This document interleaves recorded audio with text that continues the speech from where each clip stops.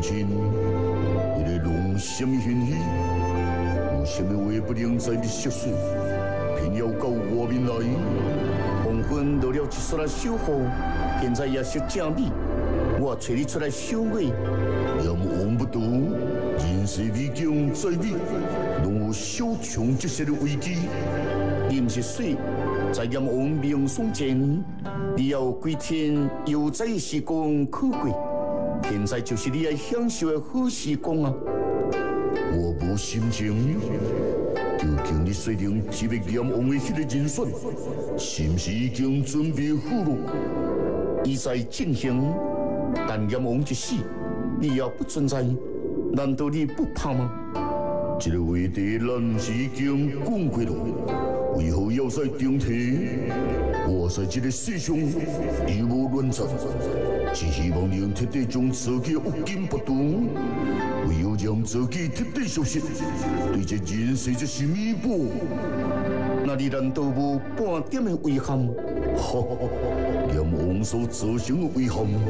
尤其是一点半点，才影响我以千里自杀。天伦失落人，尤其是一人、两人，无什么资格提水我的遗憾。所以，你的遗憾是天伦有关吗？说环境不用猜测嗯，一大红罗旁的酒气是三清酒。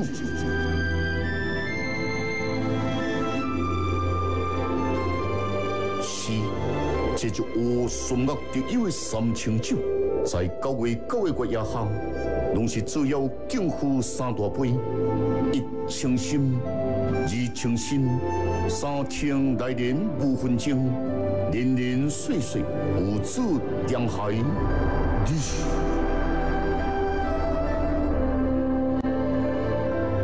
先前听数分钟，认到你的存在已向现。我不敢置信，不敢相信阎王也能有这样一面。那是我一直以来所向往的父亲，一个仁慈又有情的父亲。你不敢说遗憾，那就听听修行东的梦吧。那年九月九，红秋海修行东准备了酒菜，等着父亲前来。但那一年，我等着是天伦梦碎，一万片让人窒息的下香味，三清酒散了一地，却偏灭着半点的红罗酒香。我在红秋巷等着一箱人世最冰冷的酒。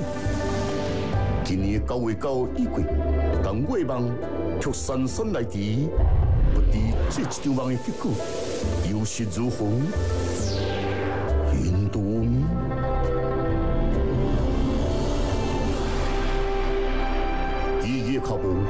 是农业各自红红的心，慢慢跨过时间的鸿沟，亲情的离魂，走向彼此的美梦中，圆满遗憾。